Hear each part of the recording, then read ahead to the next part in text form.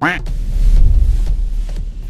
야오 상식비그로 홀다 센서 스틸입니다. 덴마크와 캐나다가 섬 하나를 두고 최근까지도 전쟁을 벌였던 사건이 있었습니다. 오늘은 이 한스섬 분쟁에 대해서 한번 알아보도록 하겠습니다. 물론 덴마크와 캐나다가 직접 총을 겨누고 전쟁을 한 건 아니고요. 그냥 단순한 해프닝입니다. 일단 시작하기에 앞서서 한스섬이 어디에 있는지부터 파악해보자고요. 한스섬은 그린란드와 캐나다 엘스미어 섬 사이 폭 100m의 나르세협에 돌출해 있는 작은 무인도입니다. 면적은 1.3제곱킬로미터밖에 안됩니다. 이 섬의 분쟁은 상당히 오래됐습니다. 1933년에 국제재판소는 그린란드를 덴마크 영토로 판결 했는데요. 근데 아시겠지만 북극해에는 너무나도 섬이 많습니다. 그렇다 보니 어디까지가 그린란드인지 상당히 모호해졌는데요. 1933년부터 캐나다와 덴마크 간의 분쟁이 시작됩니다. 덴마크 입장에서는 한스섬이 그린란드이기 때문에 한스섬이 자기의 곳이라고 주장했고요. 캐나다는 19세기 때 미국과 영국의 북극 탐험대가 이 섬을 발견했다는 이유로 자국 영토로 주장했습니다. 심지어 나레스 해협 딱 중간에 있어서 1973년에 캐나다와 덴마크가 국경 협정을 했을 때도 한스섬을 제외한 채로 경계를 그을 정도였습니다. 물론 정말 아무것도 없는 섬입니다. 보시면 아시겠지만 그냥 바위섬이고 자원도 없는 섬이에요. 근데 여기서 일종의 전쟁이 납니다. 명칭도 위스키 전쟁이라고 불려요. 왜 위스키 전쟁이냐면요.